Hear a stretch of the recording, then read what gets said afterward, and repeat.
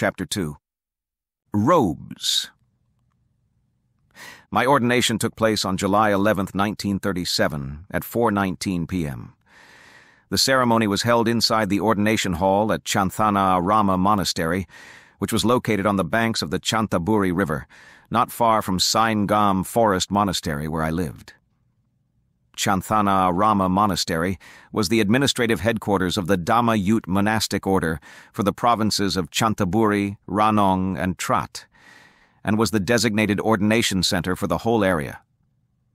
In those days, a stand of large sandalwood trees, from which the monastery got its name, grew beside the well on the monastery grounds.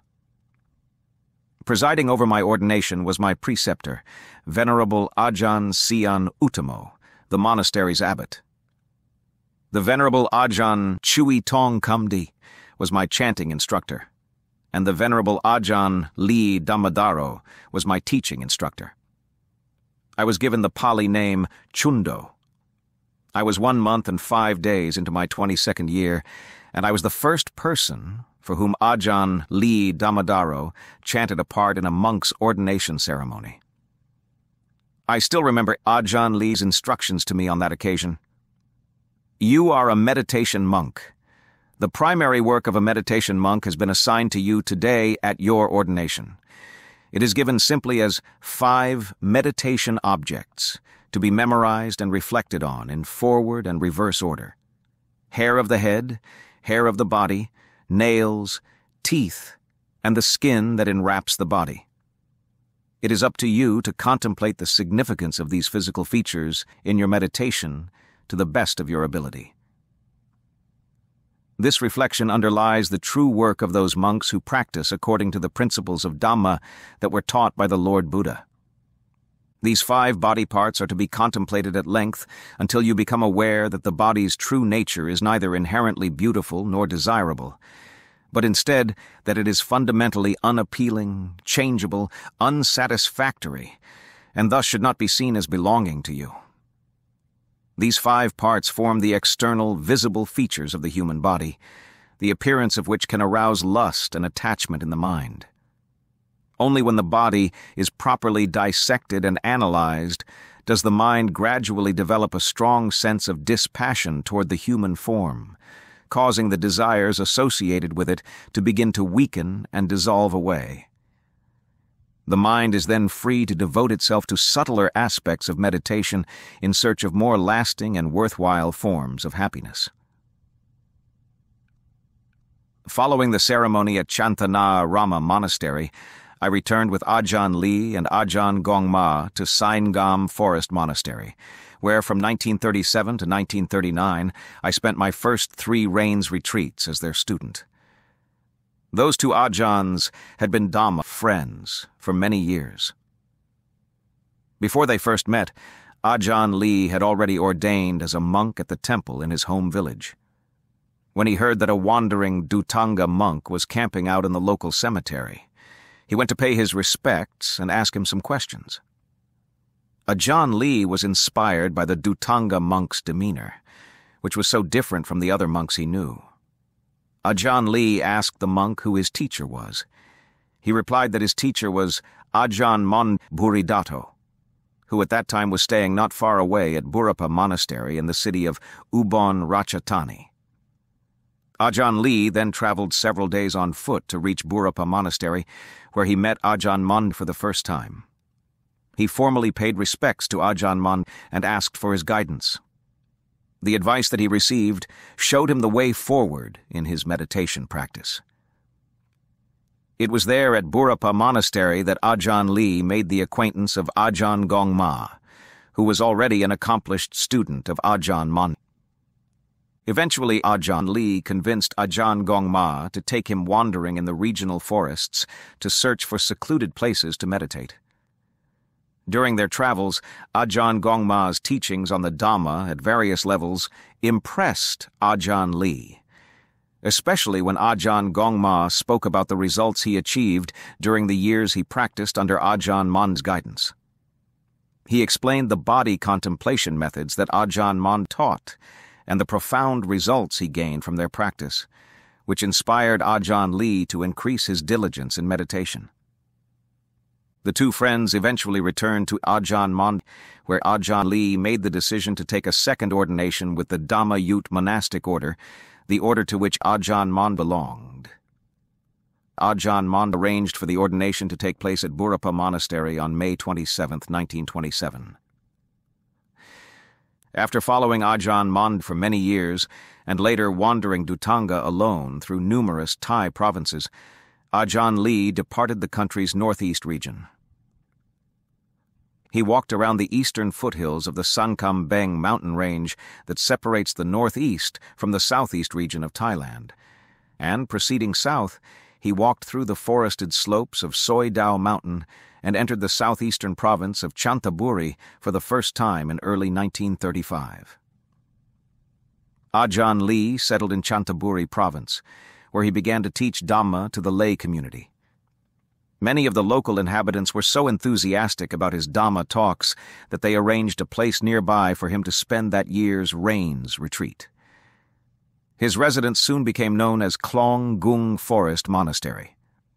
As meditation gained popularity with increasing numbers of people in Chanthaburi, Ajahn Lee's teaching burden increased since he was the only meditation monk available in the area to guide them. This situation prompted Ajahn Lee to write Ajahn Kongma, asking if he could join him and assist him in teaching the laity.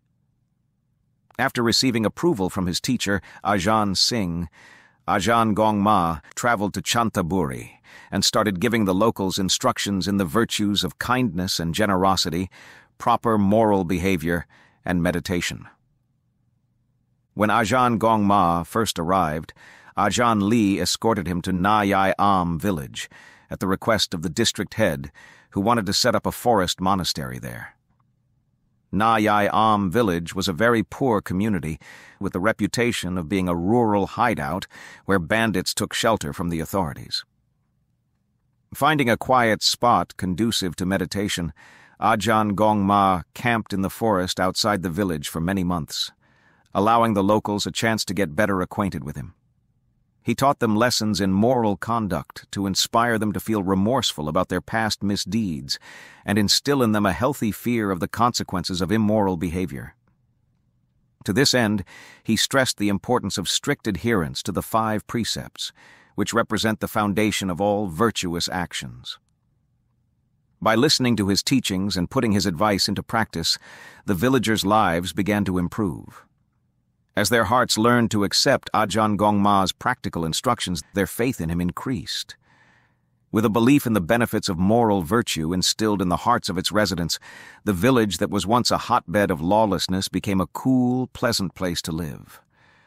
Old animosities died away to be replaced by a reverence for the monk whose teachings had made such an impression. When Ajahn Kongma eventually left Na Yai Am village, the people there cried like small children mourning the loss of a parent. Due to ah Ajahn Lee's influence in the province, forest monks were sought after in village communities around Chanthaburi. My hometown, Nong Bua, was one such village. Its residents, who harbored a strong faith in the Buddha and his teachings, had on multiple occasions invited ah Ajahn Lee to settle in their vicinity and guide them in matters of virtuous conduct and meditation. Ah Ajahn Lee was unable to oblige their request, but they were nonetheless eager to support another monk from the forest tradition. At that time, a group of the town's devout lay supporters heard that ah Ajahn Kongma, who had the reputation of being a strict practitioner, was staying with ah Ajahn Lee at Klonggung Forest Monastery. Six people from the group volunteered to travel to Ajahn Lee's monastery and invite Ajahn Kongma to return with them to Nongbua. They did not propose to invite Ajahn Kongma simply to have him perform religious rituals. These people were truly interested in Dhamma and possessed a thorough knowledge of the Buddhist scriptures. They also valued the wise counsel of practicing forest monks. After a two-hour boat ride, the petitioners landed at the dock in Chanthaburi and walked the rest of the way to the monastery. So delighted was the group when they first met Ajahn Kongma that they immediately proffered him their invitation. Ajahn Kongma responded by saying, You should go back home and make a solemn wish, asking the triple gem to provide an auspicious omen. If an auspicious omen appears, you can return. Otherwise, don't come back. Immediately, one of the villagers spoke up. Venerable sir, I've received a good omen already. Last night I dreamt that two beautiful white elephants, a mother and her baby, approached me. But when I reached out my hand to pet them, the pair of them turned into a white chicken. Ajahn Kongma listened quietly to the man's story and contemplated the meaning of the dream for a while. He then said, Well, in that case, I agree to move to Nongbua village. Come back to pick me up on Wednesday, March 17th. The year was 1936. Let's reflect for a moment on the story of the villager's dream, the one in which two white elephants turned into a white chicken as soon as he started petting them. Dreams like that tend to be dismissed as fanciful imaginings. But to the surprise of all the monks, novices, and villagers of Nongbua, the white chicken dream turned out to have a real-life basis. About a mile from the burial ground lived a farmer that everyone called Uncle Bay, who raised chickens for a living. His prize chicken was a plump white one. The very same night that Ajahn Kongma arrived at the burial ground, Uncle Bay decided to catch and kill that white chicken. His intention was to make a spicy lemongrass curry with it, which he planned to offer to the monks the next morning. In the dead of night, Uncle Bay chased the white chicken around the coop in a fruitless effort to capture it. The coop's high walls made the job impossible as the chicken easily flew up to evade his grasp. In the end, worn out and weary of the chase, Uncle Bay decided to go to bed and try again, first thing the next morning. He reckoned that daylight gave him a better chance of killing the chicken. Before dawn the next day, however, the white chicken had already awakened and eaten its food before the other chickens woke up. Then it started crowing loudly in an agitated manner, as though it was giving vent to a feeling of anger and resentment. No matter how well that man raised and fed me, in the end he aims to kill me for food like he slaughtered the pigs next door. Thinking like this, the white chicken began to panic. It frantically paced the coop before daybreak, on the lookout for danger. Just the night before, it had managed to escape certain death. Today, it might not be so fortunate. Having considered its options, the chicken began scratching the ground looking for food to bolster its strength for the coming struggle. At the same time, it reflected on how it could escape from the coop. As the morning sun rose over the horizon and the dim light of dawn began to illuminate its surroundings, the white chicken knew there wasn't much time left.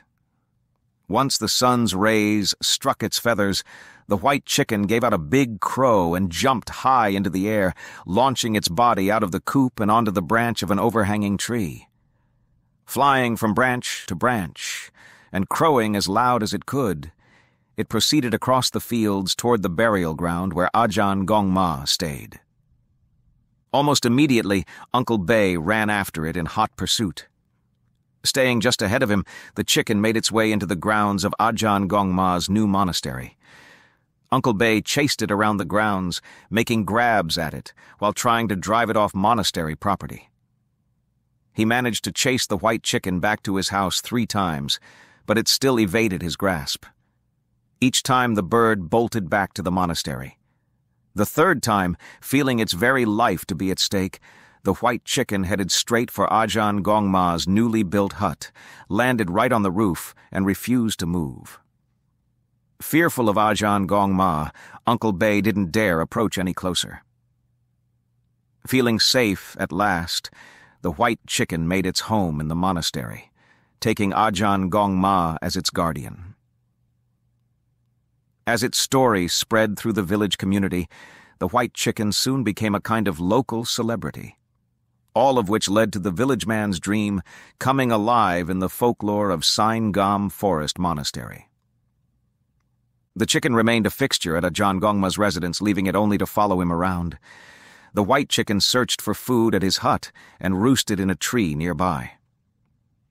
On occasions when ah Ajahn Kongma moved to another hut for a night, the faithful chicken followed along with him, Whichever hut he moved to, on whichever day, it traveled behind him like a shadow. In the end, it followed Ajahn Kongma everywhere.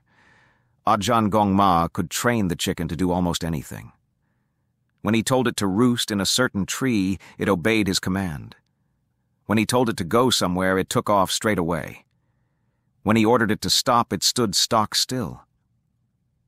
It was as though it understood Ajahn Kongma's spoken commands. He always treated it with fondness and a gentle kindness. Whenever Ajahn Kongma was reading a book on monastic discipline, the white chicken would walk up close and stand right next to the book. It remained right beside the book, obscuring Ajahn Kongma's view of the pages. Almost as though it was jealous of the attention he paid to the book.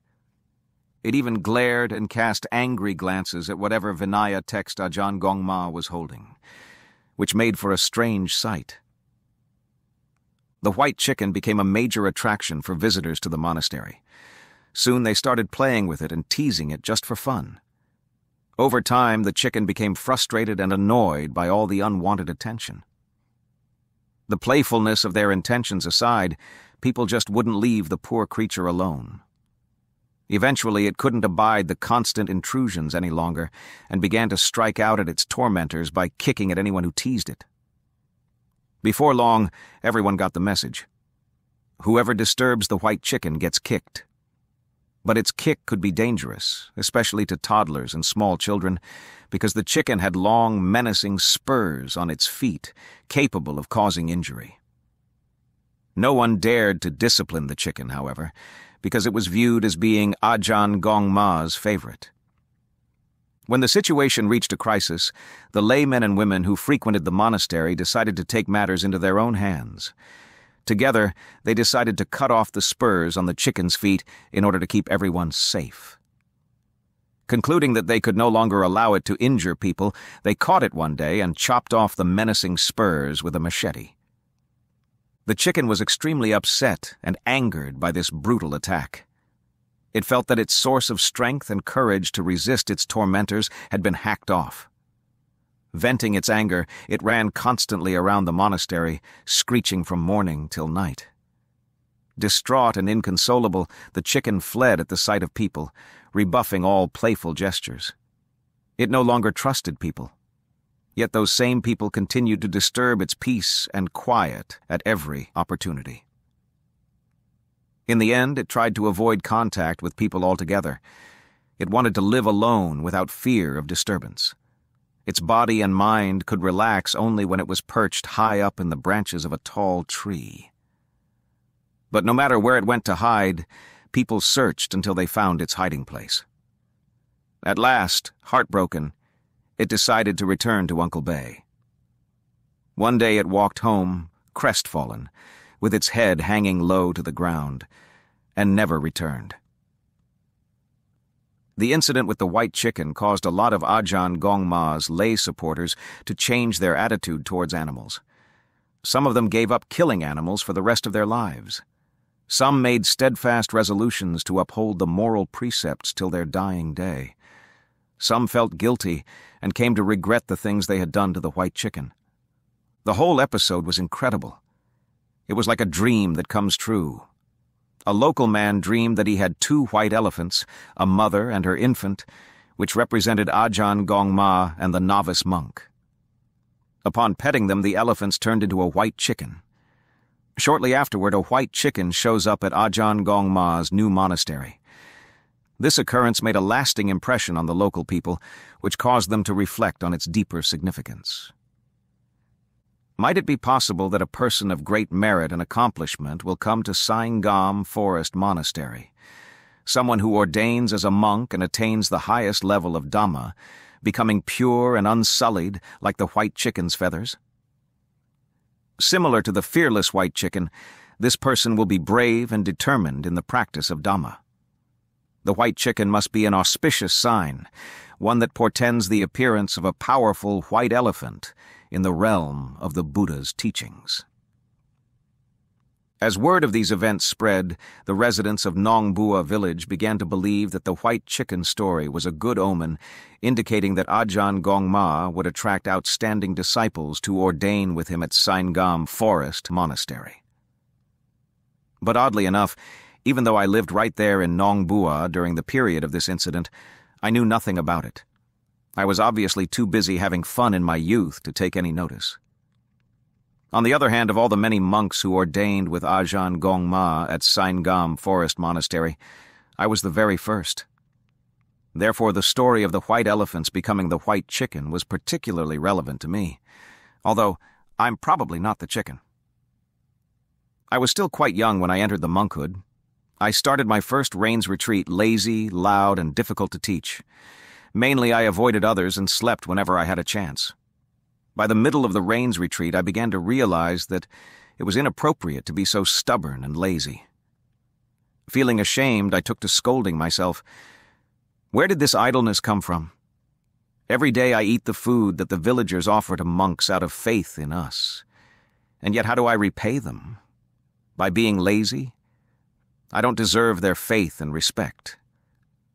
Before leaving lay life to become a monk, I worked very hard.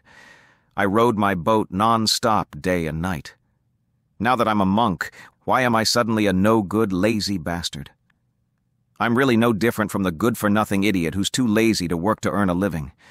I don't deserve people's respect.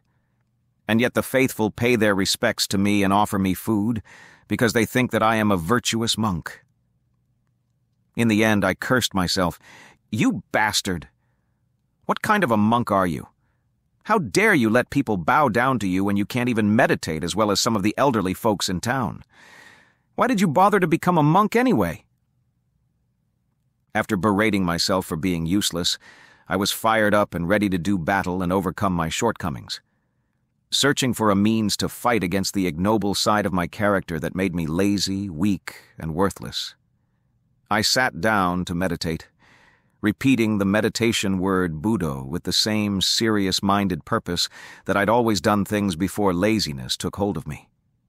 I thought, before I ordained, I said that I would never back down from anyone. But now, I back down from my own weaknesses so easily that I've become their obedient slave. Is this feebleness something to be proud of? Hell no. Okay, that does it, I thought. I won't give in, even if it means death. From now on, I will take the Buddha as my example and practice with an earnestness similar to his. I vow to adopt the same diligence in my meditation practice that the Buddha's Arahant disciples did in theirs. From now on, I will refuse to back down when confronted by my internal enemies. From the moment I took up Buddha meditation in earnest, my attitude toward the monastic way of living totally changed. Whether I was seated in meditation or pacing back and forth on my meditation path, the effort I exerted was forceful and unrelenting.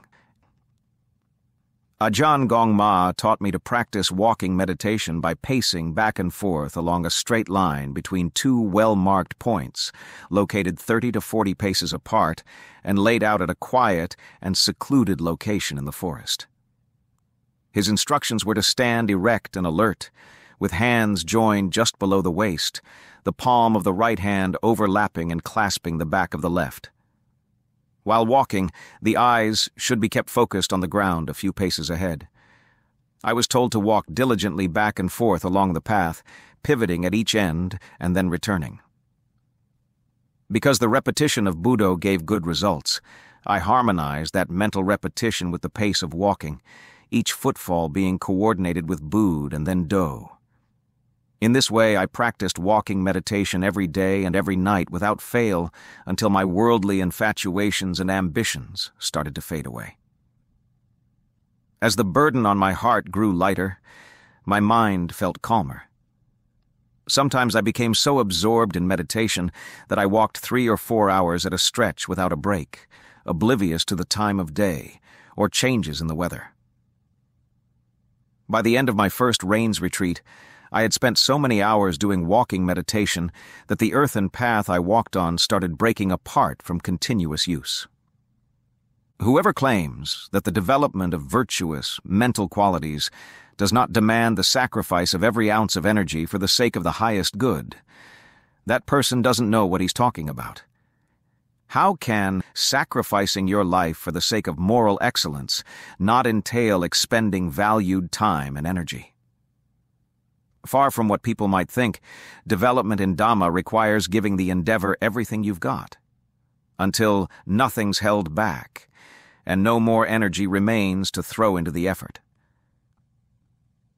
As the momentum of my meditation gathered pace, I sought fresh contemplations to stimulate my mindfulness.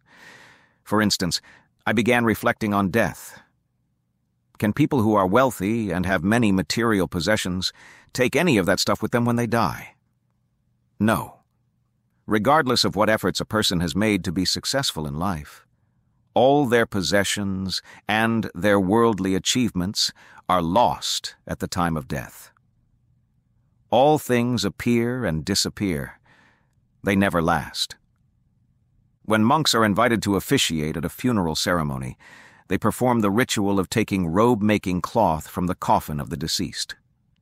This funeral rite is performed not because the cloth itself has special value, but rather as an opportunity for the monks and relatives of the deceased to solemnly reflect on the nature of death on the truth that one day all of them will certainly die as well. As the monks take the cloth, they chant Anicca Vata Sankhara. All compounded things, including our bodies and minds, are impermanent and subject to change. Nothing carries on in the same way forever. Unfortunately, most people never stop to reflect on their own bodies and minds. They are too lost in trivial thoughts to see their life frittering away, slipping away from them moment by moment as they settle into habitual ruts of thought and behavior.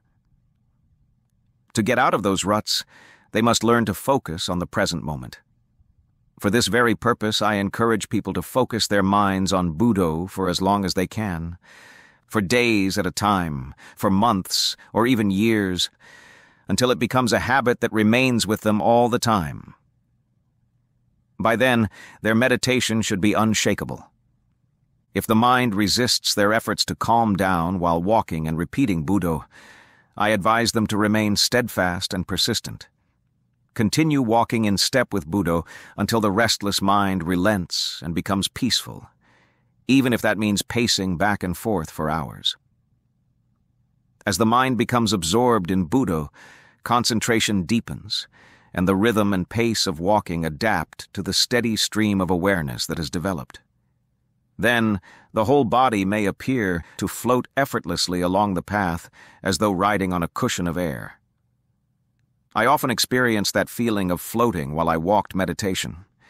It felt as though body and mind were suspended above the ground, at one moment soaring up and away, at another gliding back down, then up again. I could walk like that for hours, oblivious to the time and the fact that I was sweating profusely throughout. Walking meditation was such an enjoyable experience that I became hooked on the pleasant feeling and didn't want to stop. Which just goes to show how rewarding walking meditation can be when you put your all into the practice. In the early days of my monastic life, however, my meditation practice lacked proper direction and consistency. On some occasions, the results were encouraging, on others, I felt drowsy and couldn't stay awake on the meditation seat. My half hearted effort was discouraging. Deep down, I felt ashamed of myself for being so lazy in meditation. I compared my attitude to that of the monastery's lay supporters who found time to practice meditation even though they worked long hours and had busy family lives.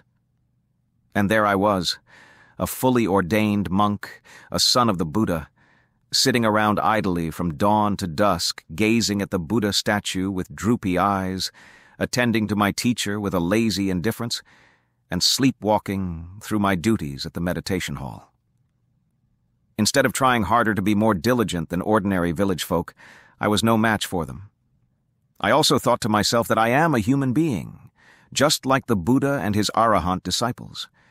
I live the same way they did and eat the same kinds of food. How come they were able to attain such exalted spiritual heights while I'm stuck in a rut? Obviously, I have only myself to blame. Is laziness a virtue? Of course not. The wise people of this world always praise hard-working individuals. Why do I feel so sluggish and drowsy? Don't I feel embarrassed seeing the monastery's main hall full of lay people sitting attentively in meditation? I have worked hard all my life. I was able to accomplish things that no one else could. How come now that I'm a monk, I can't learn to meditate wakefully? Why can't I figure this out? Considering my predicament in that way made me feel deeply dismayed. Making up my mind then and there to dramatically change course, I rose from my seat, approached the Buddha statue on my knees, and bowed to the Lord Buddha three times. With my hands joined together and my mind intensely focused, I made a solemn resolve. From this moment on, if I do not meditate with unbending resolve, may I be destroyed by lightning bolts, earthquakes, floods, and raging fires. After putting my life on the line by making that uncompromising vow, my heart felt a burst of energy as my mind steeled for the challenge. Courage welled up inside as I prepared to face a life or death moment. I fervently appealed to the power inherent in the good karma I'd accumulated from past virtuous actions to help me succeed in freeing my mind from all encumbering hindrances. To realize my vow, I began meditating day and night, sitting for long stretches during the day and walking for hours on end after dark. From the moment I made that resolve, I forced my mind to stay firmly on the repetition of Buddho. I had come to the conclusion that, for me, focusing on Buddho was preferable to focusing on the breath as an object of meditation because my mind drifted too easily between the in and out breaths. From the time I awoke in the morning until I fell asleep at night, I made my mind think only Buddho. Thus, Buddho became my sole preoccupation. All other concerns were irrelevant. Maintaining such a single-minded focus was a struggle. I had to force my mind to be with Buddho each and every moment without interruption. When my attention began to slip, I quickened the pace of the repetition.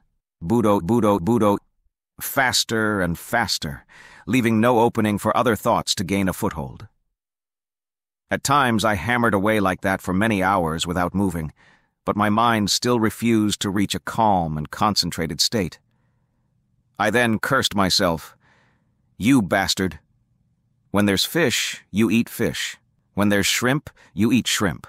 When there's duck, you eat duck, too. Chili sauces and curries and syrups and sugars, you get to eat them all. So why the hell won't you work for me? Whether I was seated in meditation, doing walking meditation, or performing daily chores, the word Buddho resonated deeply within my mind at all times. As I've mentioned, by temperament I was always bold and uncompromising and this tenacity worked to my advantage. In the end, I became so earnestly committed to the meditation that nothing could shake my resolve. No errant thought could separate the mind from Buddho. As it happened, that was the only way I could quiet my mind and attain samadhi. Having staked my life on the solemn pledge I took, I could not let up or give in.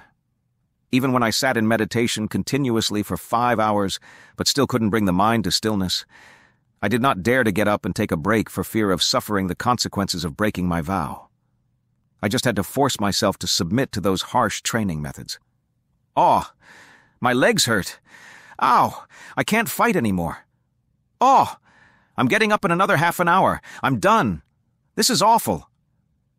I needed to battle that internal discord. A warrior must fight.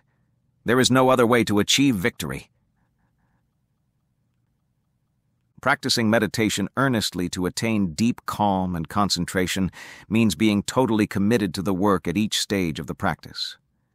Nothing less than total commitment will succeed. To experience deep levels of samadhi, meditators cannot afford to be half-hearted and listless, forever wavering because they lack a firm resolve to guide their practice. Meditators without a solid commitment to the principles of practice can meditate their entire lives without gaining satisfactory results. When, with supreme effort, my mind was able to let go of everything and drop into samadhi, The experience was an indescribably amazing, silent, and smooth stillness of mind. That stillness was accompanied by an incredible feeling of lightness and buoyancy that made my body feel as though it was hovering in midair. I was conscious of a similar sense of floating when walking on the meditation path, as though I was flying above the path. My meditation soon reached a point where I could walk all night without sleeping. Eventually, the meditation path became so worn down and broken apart that the monks would look at it in disbelief. They couldn't understand how two feet could exact so much punishment on the sandy soil beneath them. But how could it be otherwise when I continued to walk night after night without stopping to rest? Resolutely safeguarding my vow involved exerting myself to the limit of my endurance, and then pushing beyond it. My determination was so strong that nothing would deter me. If eating became an obstacle to fulfilling my vow, then I just wouldn't eat. If keeping the vow meant death, I was prepared to die. I would not back down. When, with all my determined effort, the mind still refused to converge into samadhi, I'd counter with an even more potent vow and increase my exertions. This boldness became so much a part of my practice that Ajahn Lee began warning people, Don't dare challenge Than Jia. He won't give in to anyone, not even the devas. He'll accept anyone's challenge. During the hot season months of my first year in robes, I joined three fellow monks hiking through the mountainous region in the northern part of Chanthaburi province seeking out quiet and secluded forested locations where we could practice meditation undisturbed. That region had tracts of forest and hilly terrain that were well suited to our need for solitude. In the style of Dhutanga monks, we wandered from place to place, hiking through forests and mountains in locales where there were just enough small village settlements to support our daily alms round. We each carried an umbrella tent slung over one shoulder and an alms bowl slung over the other. When we found a quiet spot that was conducive to meditation, we camped for a while in the outlying forests near those small settlements. We saw this lifestyle as a way to be serious in our determination to practice correctly for the sake of Dhamma. We became convinced that working tirelessly to improve our meditation practice was the most important task in monastic life. The four of us returned safely to Sai Ngaam Forest Monastery shortly before the start of the 1938 Rains Retreat. In our enthusiasm for the ascetic way of life, we decided to use that Rains Retreat to strictly observe some of the Dhutanga practices that the Buddha recommended. We wanted to emulate genuine practicing monks who were striving earnestly for liberation from suffering. Together, we pledged to walk to the village for alms round every morning, except when fasting, to sweep the monastery grounds and clean the main hall every morning and evening without fail, to eat food only from our alms bowls, and as a group, to pay our respects by bowing to the Buddha and to our teachers every morning. Other practices that were mandatory for the rainy season retreat included gathering at 8 p.m. for evening chanting, followed by a Vinaya reading and a group meditation session that lasted until 11 p.m. We were required to wake up at 3 a.m. and meditate on our own until 5 a.m., and then gather at the main hall for the morning alms round.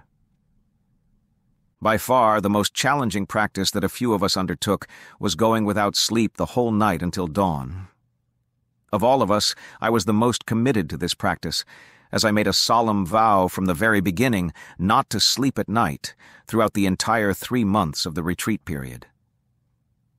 Following the potency of my previous vow, I bowed deeply to the Buddha, Dhamma, and Sangha, steadied my mind and focused it inward, repeating silently to myself, I vow through the power of the Buddha, Dhamma, and Sangha not to sleep during the hours from dusk to dawn every day for the entire three months of this rains retreat.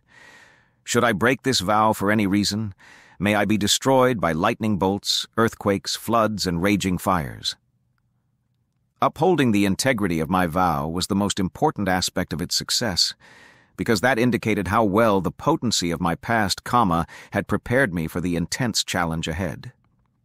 Karmic strengths and weaknesses are crucial factors in meditation because the moral quality of our past actions largely determines the strength and depth of our meditation and reinforces our readiness to persevere through hardships and difficulties without giving in. In that way, our capacity to carry out a vow relies on an accumulation of inner worth, which is based on the good merit we have made. The cultivation of inner worth is an important aspect of how effectively we can overcome the obstacles we face in intensive practice. Being able to stick with a demanding challenge indicates a high level of virtuous karma, a degree of excellence which those who fail the challenge tend to lack. In truth, it's not easy to succeed. Most people fail. It's easy to make a solemn vow, but extremely difficult to put your life on the line to realize it. I admit I wasn't mentally prepared for how difficult it would be to forego sleep every night. My whole life I had routinely laid down to sleep at that time. When suddenly I had to stop and stay awake instead, my body struggled to adapt. Some nights I wanted to collapse on the floor and pass out. But by repeating Buddho with unrelenting determination, I managed to enter Samadhi and go long periods without sleep.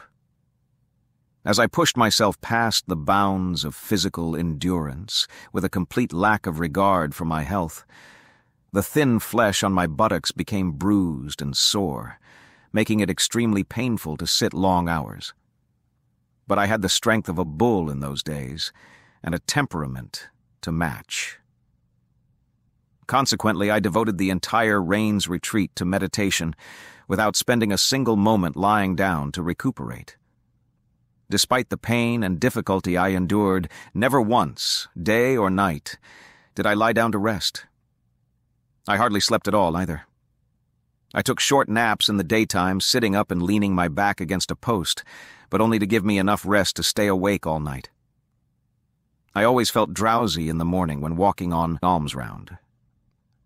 But I doggedly resisted the fatigue and pushed on, fearing the consequences should I fail to escape from the world of samsara and fall again into human existence with its suffering, constant change, and certainty of death and rebirth. During my three month long quest to abstain from sleep, I experienced nights when the conditions in my meditation were just right. Moments when my mind was centered and so totally focused on Buddho that I became oblivious to the time of day and the external environment. No images or visions appeared in the mind at all. When the mind was free of distraction and fully concentrated, a refined awareness was all that remained, standing out prominently on its own. Occasionally, feelings of body and mind ceased altogether, leaving an incomparable stillness in their place. Aside from occasionally experiencing such sublime states, maintaining my vow day in and day out was usually a struggle. There were times when I just wanted to escape, but each time I doubled down on my primary purpose.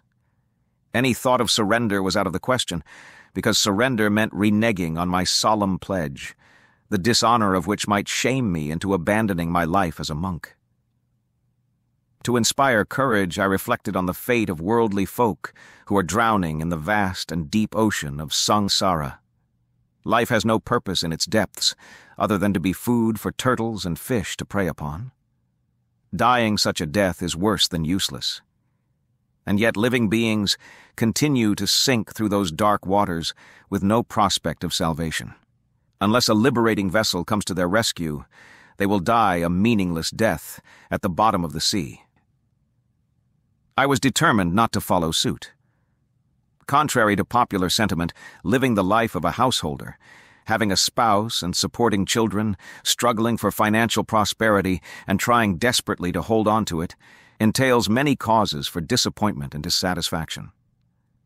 Because of the pressure they feel to earn a living and raise a family, people run frantically around day and night with little time to rest their minds and experience peace. The Buddha was right when he declared, the fetter that shackles people to a life of pain and suffering is the fetter of attachment to sons and daughters, husbands and wives, property and possessions. These personal bonds are the most difficult to disengage from and go beyond. Grasping at and clinging to them drags people down to the deepest point in the sea of perpetual life and death, where they languish in the darkness, unable to find their way up to the light at the surface. People everywhere value worldly knowledge more than the Dhamma that the Buddha taught. The Buddha was right when he declared, the fetter that shackles people to a life of pain and suffering is the fetter of attachment to sons and daughters, husbands and wives, property and possessions. These personal bonds are the most difficult to disengage from and go beyond. Grasping at and clinging to them drags people down to the deepest point in the sea of perpetual life and death, where they languish in the darkness, unable to find their way up to the light at the surface. People everywhere value worldly knowledge more than the Dhamma that the Buddha taught. The Buddha was very clear when he declared, I cannot see any fetter more dangerous than craving for binding living beings to an existence of endless wandering in samsara, the realm of pain and suffering. But most people are reluctant to take the words of the Buddha to heart and act upon them. They'd rather waste their time gossiping, taking it easy, and having fun. When they come to visit the monastery, they bring radios and other devices that they listen to furtively while the monks are teaching Dhamma. Even though the real purpose of visiting a monastery should be to leave all worldly pleasures and amusements at home and focus wholeheartedly on learning the way to find true and lasting happiness in their lives.